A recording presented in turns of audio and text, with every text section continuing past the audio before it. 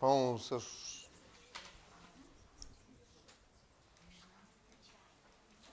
Все? Все. Хорошо. Итак, мои друзья, а, вы пришли к общему пониманию прощения и очищения? Да. Говорите. Микрофон.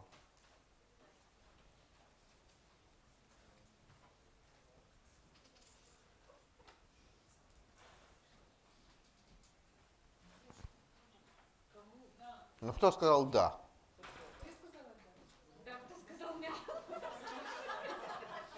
А вы уверены, что это общее, а не ваше? Э, Хорошо, спасибо большое.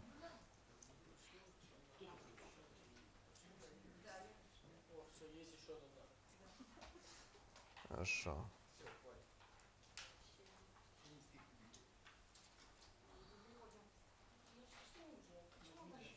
Да уже говорите. Получаем прощение через очищение. То есть Получаем прощение через очищение. Спасибо, пожалуйста, еще раз. А каким образом вот это меня интересует?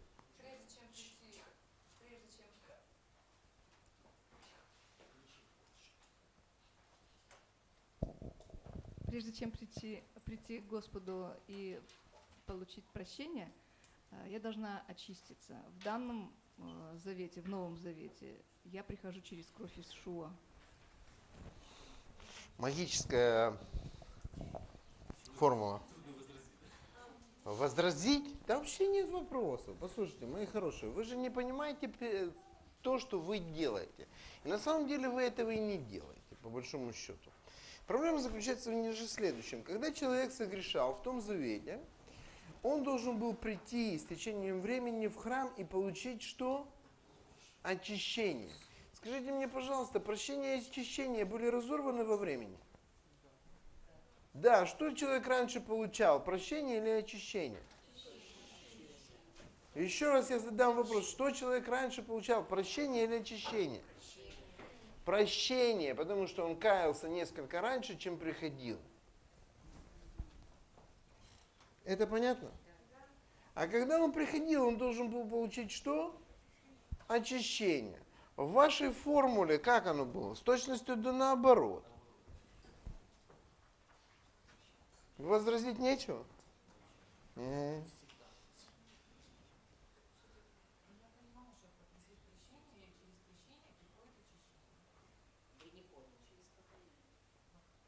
Я понял. Еще раз. Еврей сначала просил прощения, а потом нуждался в чем? Причем это очищение наступало значительно позже, чем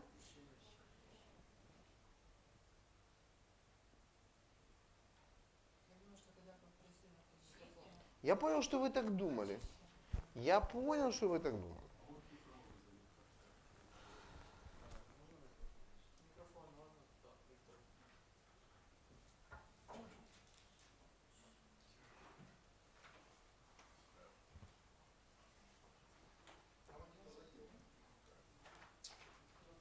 У меня тогда вопрос. Э, В Торе сказано, что Бог... Э, Такой. В Торе сказано, что Бог кровь назначил для очищения. В Писании сказано, что не бывает прощения без пролития крови. Тогда, следуя вот этому ходу э, мысли, можно сделать вывод, что сначала происходит очищение, а потом человек получает прощение. Мгм. Вы на основании а только одного места Писания будете строить свою доктрину или еще приведете несколько мест? В смысле, я два места привел. Одно, а еще второе сможете?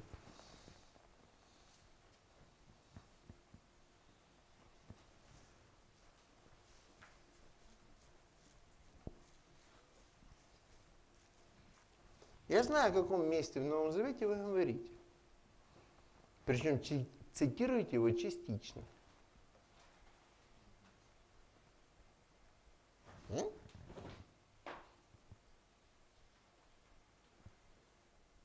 И я поэтому попросил вас привести еще хотя бы одно, то есть второе. Сейчас у меня нет этого места. Я догадываюсь. Еще раз давайте подумаем над некоторыми вещами. Для Израиля был открыт путь понимания ритуальной чистоты. Не достигнув ритуальной чистоты, можно было при- приближаться к, к жертвеннику? Нет. Скажите мне, пожалуйста, второй вопрос. Второй вопрос. Очищение происходило из какого источника в Израиле? Жертвенник. В некоторых случаях погружение в воду, омытие водой с использованием, опять-таки, пепла рыжей телицы, которая имела непосредственное отношение. Итак, есть понимание у Израиля о очищении. Причем две степени очищения. И очищение было связано с чем? С жертвенником. Это понятно, да? Вторая мысль, светлая, которая есть в голове у человека Нового Завета, шикарная мысль, что получение прощения освобождает от наказания.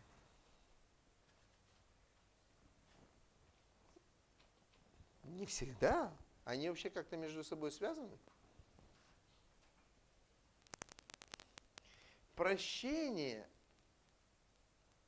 и избежание наказания – это вообще как бы одно и то же. Но в светлой нашей голове, если мы получаем прощение, то мы хотим что? Избежать наказания. Вы знаете, у меня это было в моей жизни неоднократно. В жизни моих детей это происходит часто. Нет, наверное, скажу неправду. Это происходит не часто. Когда мне приходится их наказывать, и они понимают, что процесс уже вступил. Они говорят, папа, прости. Причем делают это очень искренне. Я говорю, я вас прощаю, никаких проблем. Но это никоим образом не влияет на то, что сейчас будет происходить. То есть я искренне очень вас люблю и прощаю, но я вас что? Накажу. Два процесса прощения и последствия совершенного греха, они между собой, в общем-то, в этом плане не связаны.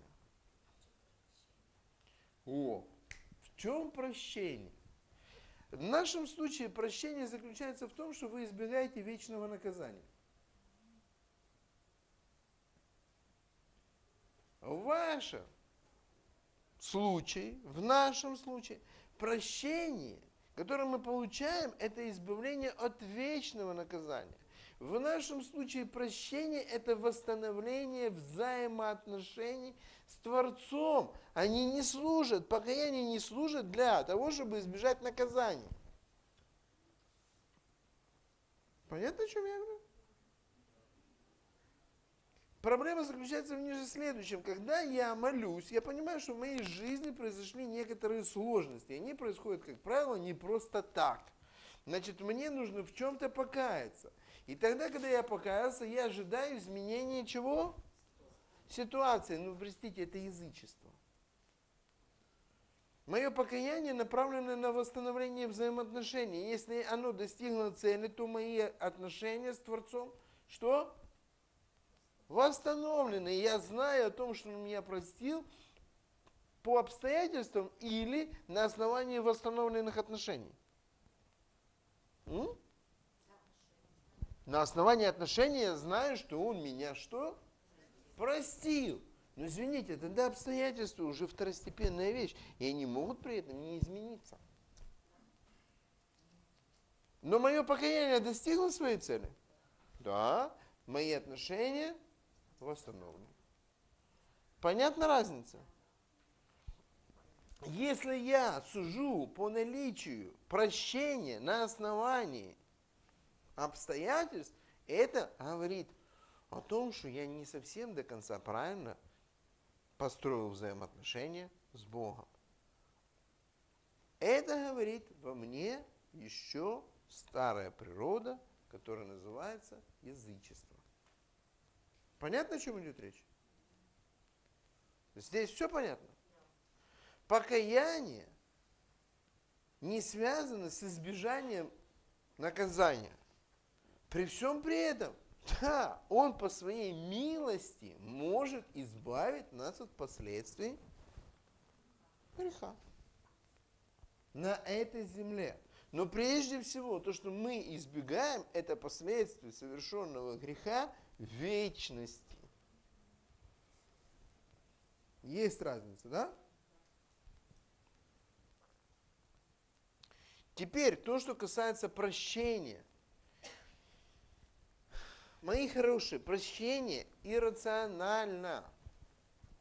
Это нерациональные вещи. Вы знаете, для нас прощение это что-то нормальное, понятное и привычное.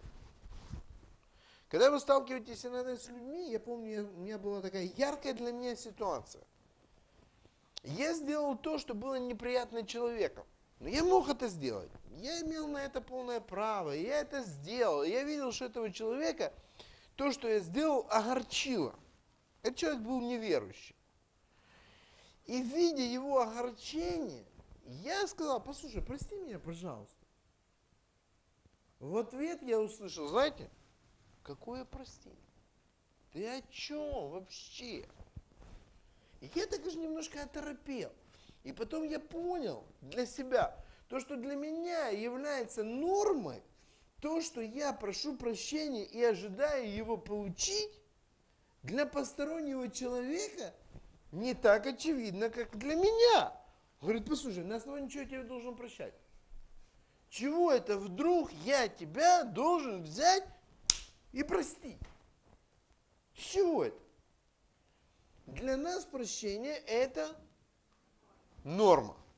А для многих людей, простите, это не норма.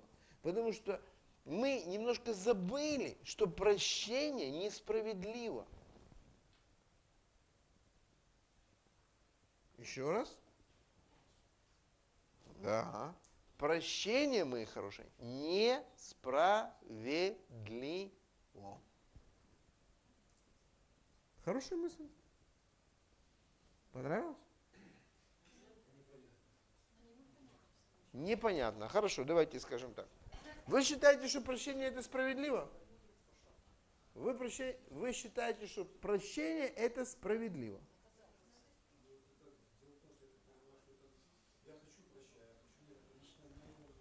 Я понял, что это лично ваше мнение. Теперь меня интересует, насколько ваше мнение справедливо.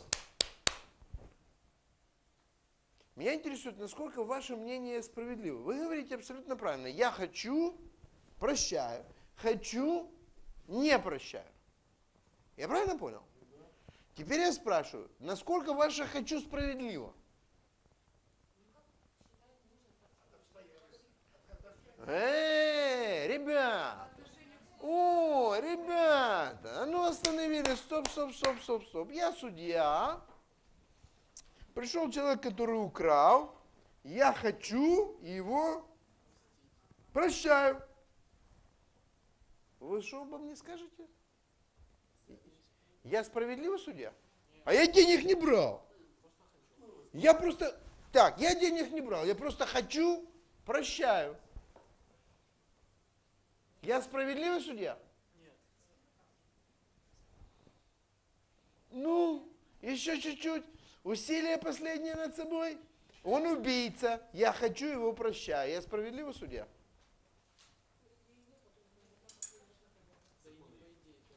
Еще раз. Я справедливый судья?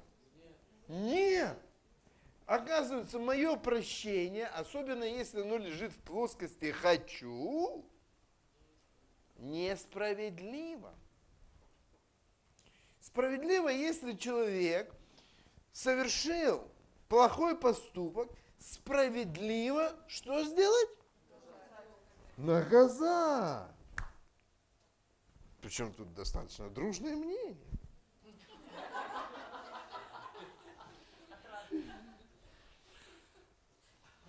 Почему нам тяжело прощать? Почему нам тяжело прощать? Потому что мы понимаем, что по отношению к нам поступили неправильно. И прощение по отношению к этому субъекту это будет несправедливо. Как же я, как же я верующий человек могу поступать несправедливо? И прощать такого подлеца. Надо, чтобы его наказали здесь, сейчас, при мне. И так, чтобы я остался доволен.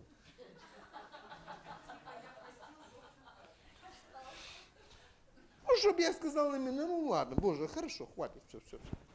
Уже достаточно, ты его наказал так, что уже все, хватит. Все, больше не надо, все, спасибо. Прощение несправедливо. И послушайте, в- во всей этой идее, во всей этой истории есть только одна часть. Знаете какая? Приготовьтесь. Вы сами хотели получить его? Прощение. Так и вас прощать несправедливо. И вас прощать несправедливо. И только потому, что Бог простил каждого из нас, Он может требовать от нас, чтобы мы прощали других. Если мы не получили бы этого прощения сами, тогда мы могли не прощать. Но поскольку Он простил нас, то Он требует от нас того, чтобы мы прощали других. Но прощение по своей сути несправедливо. И невозможно прийти к Нему и сказать, слушай, Бог, я попросил прощения, а ты давай меня прощай. Он говорит, подожди, на основании чего я тебя могу простить? Да, я прощаю вас, пожалуйста, и наказываю.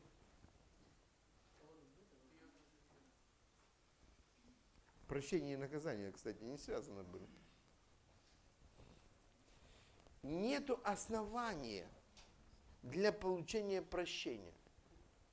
Вы знаете, почему Писание говорит, что милость, она превозносится над... Она выше суда. Поэтому прощение – это милость. А милость нельзя заслужить, ее можно только оказать.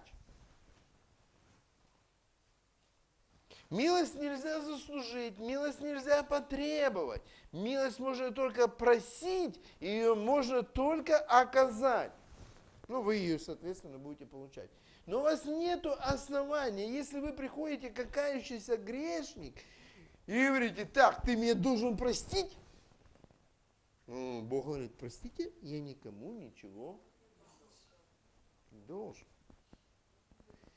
В иудаизме было прекрасное понимание чувы, покаяния, что между Всевышним и человеком грех воздвигает непреодолимую преграду. И все, что может сделать грешник, стоять за этой преградой и взывать о милости. Взывать о милости, просить о милости для того, чтобы открылись ворота покаяния. Если Бог, извините, не откроет этих ворот, то ничего не будет. А Он не обязан этого делать. Понятно, о чем я говорю? Тогда появляется правильная позиция по отношению к Творцу. Тогда появляется правильное искание, ожидание, сожаление о разрушенных взаимоотношениях, поиск милости. Тогда прощение не становится чем-то само собой разумеющимся, что Бог мне должен дать, потому что Он меня любит, куда ему деваться. Понятно, о чем я говорю? И для того, чтобы получить прощение, кроме милости, извините, ничего не надо.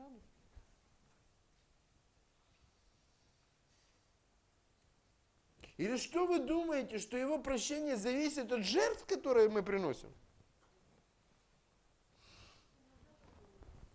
Понятно, о чем идет речь? Тогда, если я прошу, он говорит, я бы тебя вообще по-настоящему, конечно, простил. Но жертвы же нету, не могу. Сейчас, секундочку. Микрофон пока передайте. Понятно, о чем идет речь, Виктор?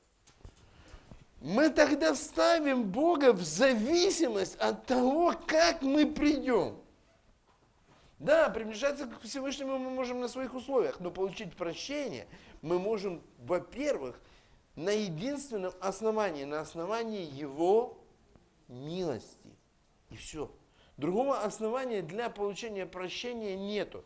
Но есть путь, который начинается с покаяния и приводит к очищению, к освящению. Понятно, да? И на этом пути должна появиться, безусловно, жертва. Понятно, да? Но начинается этот путь с шувы, покаяния. Прощение.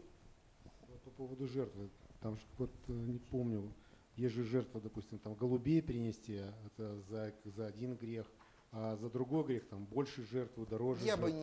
не, не, не горячился по этому поводу. Ну, Есть различные жертвы.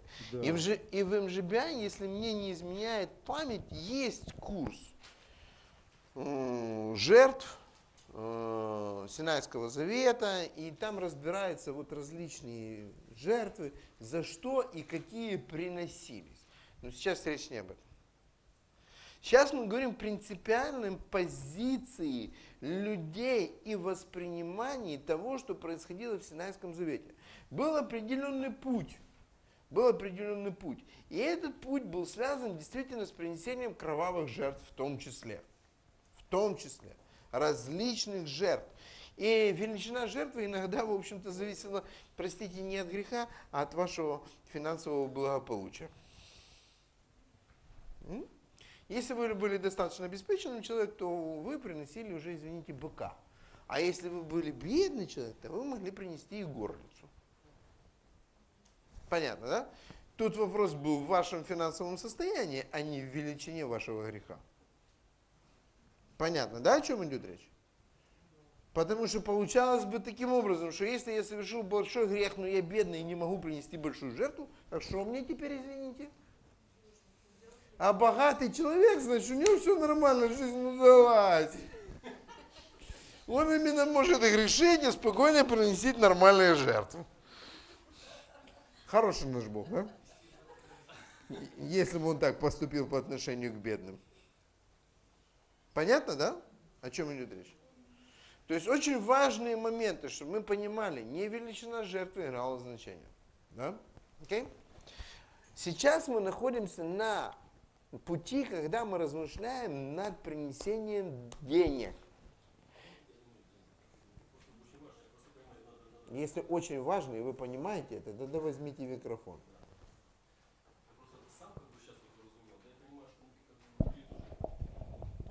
Я понимаю, что сам понял, да, сейчас вот многое вот в этом плане, да, и понимаю, что людям тоже, может быть, э, это будет полезно. Значит, дело в том, что мы как бы прощение понимаем как момент э, прихода, ну, скажем так, на небо, так условно, да. Вот. Но вначале дело в том, что прощение мы получаем, ну, как я понимаю, прощение мы получаем на земле, а очищение, следующий шаг, нам нужно, чтобы попасть потом, ну, получить на небо, потому что нечисто туда ничего не приходит. Понимаете, в чем дело? А, мы, а у нас немножко сдвигается фокус, то есть вначале очищение, а потом прощение, да? Вот, чтобы прийти на небо. Немножко не так. Здесь мы уже получили, но то есть как бы между, получается, между небом и между прощением разрыв есть, так и в Ветхом Завете тоже был разрыв между прощением и очищением. ну, Но в нашем Богу. случае, я прошу Да. прощения, в нашем случае этот разрыв, он как раз очень существенно сократился благодаря жертве, принесенной за нас. И мы можем прибегать к этой жертве достаточно. Нам никуда не надо идти для того, чтобы получить возможность прикоснуться к этой жертве. Нет, ну, а суть-то в том, что в Ветхом Завете получалось, там еще там было прощение, да, потом очищение, потом приход ну, туда. В нашем случае то же самое все происходит, Да, просто это происходит в молитве покаяния. Когда мы каемся, мы получаем прощение, и мы просим о том, чтобы кровью Сына Его, Ишуа Мессия, что сделала? Очистила нас. Вы не поверите. Вы не поверите. Я читал Писание. Я хотел бы найти место в Библии, где кровью что-то мыли. Так омыло или мы были окроплены? Ну, окропили. Поэтому, ну, и говорите окропили. Кровью никто ничего не мыл. Мы призваны к тому, чтобы мы были очищены через крапление крови. В Новом Завете вы найдете места в синодальном переводе, где говорится об омытии. Но возьмите подстрочный перевод и посмотрите, говорится о очищении в данном случае. Не о физическом действии, когда что-то мыли кровью, а о том, что кровь очищала. Понятна разница, да? Поэтому, когда мы иногда поем песню о том, что мы омыты кровью, это не совсем ну, как бы корректно. Скажем так, мы очищены кровью. То есть, по- понятно, да, разница? Окей. Э, с прощением немного разобрались? С очищением немного разобрались? Мы нуждаемся и в прощении, и в очищении. И получаем мы прощение на основании божественной милости, получаем очищение через кровь Ешо Мессии. Понятно, да? Это не одно и то же. Понятно. Можем возвращаться теперь опять к священникам? К деньгам, поближе к деньгам. Итак, потомкам Ааронов священника он дал от всего посвящаемого. То есть все, что человек хотел посвятить Богу, получал кто? Священник. Всякое приношение хлебное, всякая жертва за грех, всякая жертва повинности, все возношения, все лучшее из елея, все лучшее из винограда и хлеба, пе- первое произведение земли, все посвященное Богу или заклятое, все развержающее ложесно, то есть первородное. А? Человека выкупали, а животное, извините, отдавали. То есть все первенцы, они принадлежали Богу. Только первенцы из людей. И попадало все это кому? Священнику. Левиты же получили десятину. Первосвященник получил десятину от десяти. Разобрались, да? Они получили это, извините, за свою службу. Значит, Бог то, что принадлежало ему, отдал им. Отлично. Теперь скажите, пожалуйста, в какой части народ мог контролировать распоряжение этим священников и левитов?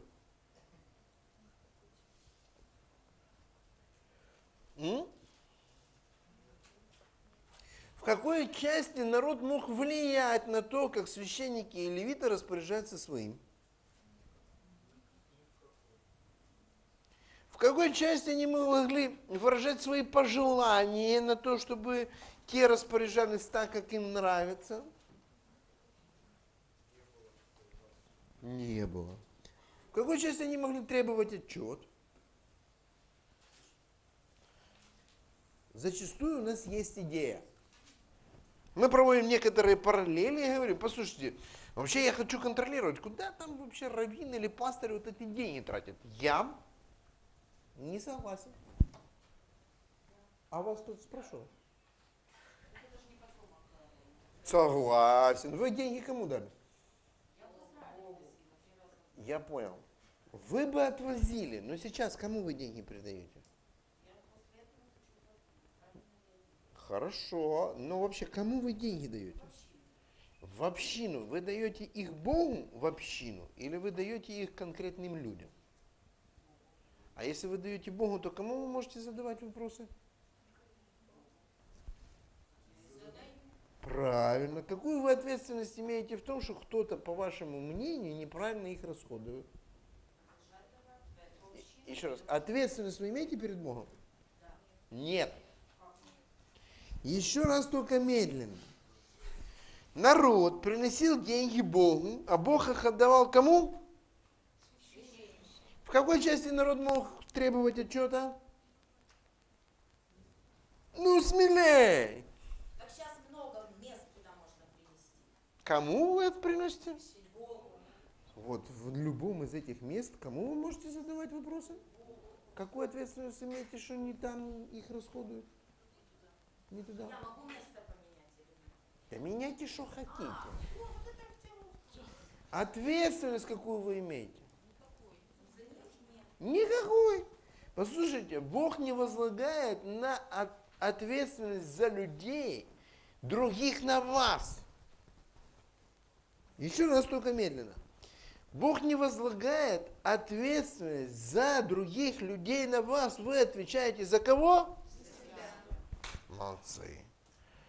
Если вы внимательно будете смотреть закон, то вы узнаете, что есть специфические грехи, за которые Бог спрашивал со всего общества. Отвечало все общество израильское. Но это были специфические грехи, а не все подряд. Извините, вы можете знать о том, что я грешу или не грешу? Можете знать? Если видно. А если нет? А можете вот это, за это отвечать? Так, отлично. Если видно, что мой грех развращает общество, и общество не останавливает меня, тогда общество будет за это отвечать. Если вы не знаете о моем грехе, то вы за него, извините, и не отвечаете. Есть один из, ну, я бы сказал, невероятных примеров, который ну, ярко, очень ярко иллюстрирует одну историю. Потом перечитайте ее. Когда один левит пошел за своей наложницей, остался у отца, тут его просил, он еще оставался, потом пошел, остался в одном городе в колене. Кого? Каком? Вениамина, да, переночевать. И вениаминтяне изнасиловали его наложницу. И насиловали ее до утра так, что она что? Умерла. И на утро он сделал невероятную вещь. Он расчленил ее и отправил всем коленам. Ну, неприятная история. И написано, что весь Израиль собрался как один человек. И спросил, что, что случилось? И когда, а, в общем-то, было рассказано, что случилось, весь Израиль сказал вениаминитянам, отдайте нам этих негодных людей. А они сказали, не дадим. Израиль пошел воевать. И в первый день погибло 28 тысяч. 7-8. Послушайте, они воевали за правое дело. Да. А что же они погибли? Их было меньше. Этих было 400 тысяч.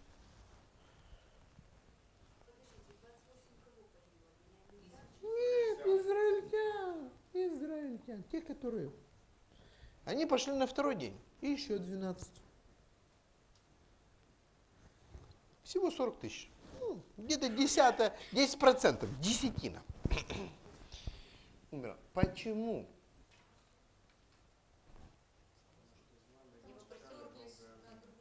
Нет.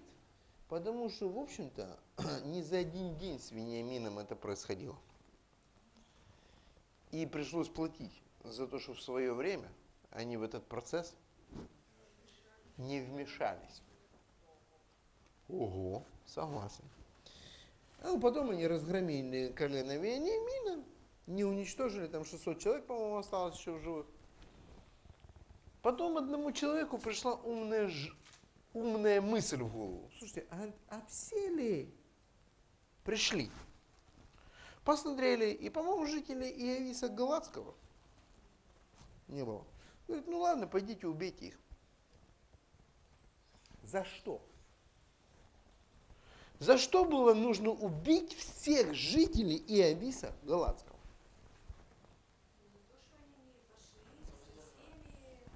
За то, что они не сражались против греха. Принцип «моя хата с краю» плохо для этих ребят закончился. И когда нам говорят, что вы видите грех, и вы должны его покрыть, вам сказали неправду. Если вы видите, то вы должны об этом сказать. Понятно, да? Если вы видите, тогда ответственность есть. Если вы не видите, извините. Знаете, по закону, к примеру, если моя жена находится в состоянии неды, знаете, что это такое, да? Те, кто не знает, к сестрам подойдите, они вам расскажут. Да, ну знай, уже все понял, разобрались. Ну, Хорошо, отлично. Так вот, я не могу прикасаться к ней. Хотите высматривать? Я спрашиваю, хотите высматривать?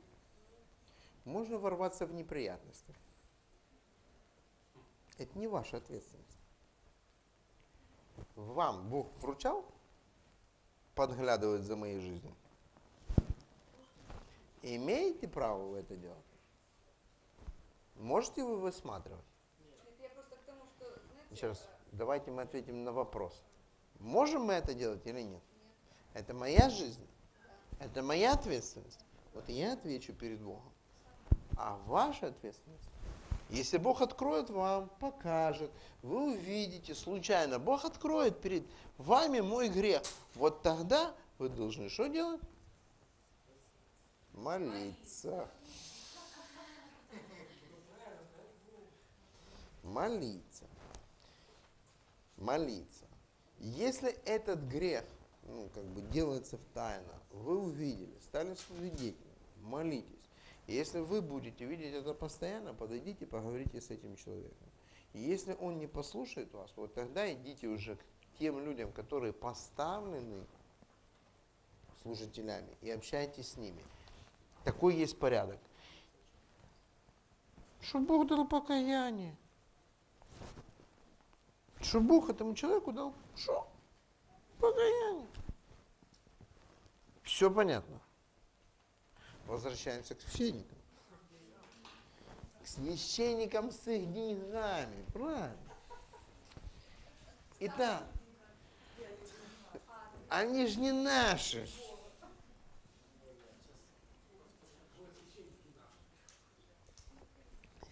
Итак, священники принадлежат кому? Богу. Мы принадлежим кому? Бог нам дал определенное повеление обеспечивать Его служителей. Это не пожелание Его, а повеление. Это понятно? Наша ответственность обеспечивать их, отдавая деньги Творцу, который Он определил. Их ответственность служить нам и Богу, так как Бог им заповедал. Причем, когда я говорю нам, я имею в виду Израиль того времени. Пока я не провожу никаких параллелей с вами, верующего Нового Завета. Повторю еще раз. Я не провожу никаких параллелей с вами, верующими Нового Завета. Скажите, пожалуйста, а вы не встречали такого выражения, что люди, которые стоят на сцене, они кто у нас? Левиты. Мгм. Что, что, что? Слышим, да, отлично. Они левиты? А кто они?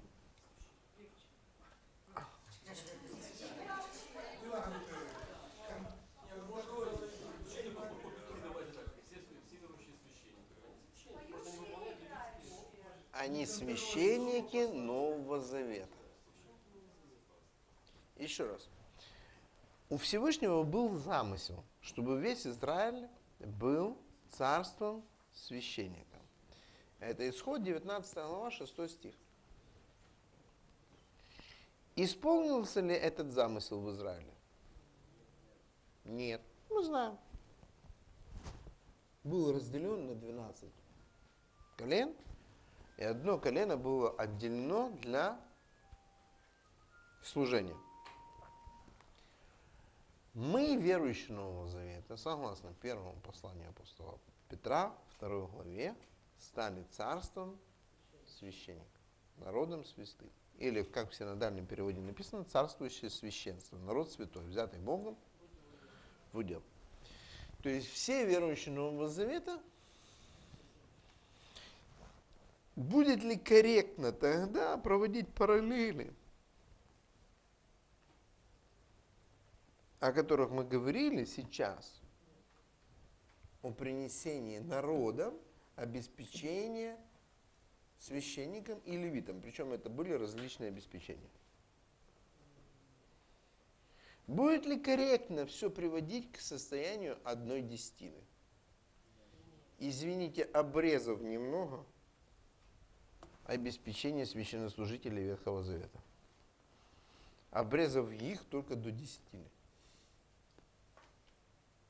Прочитать еще раз, что было потомкам Аарона священником.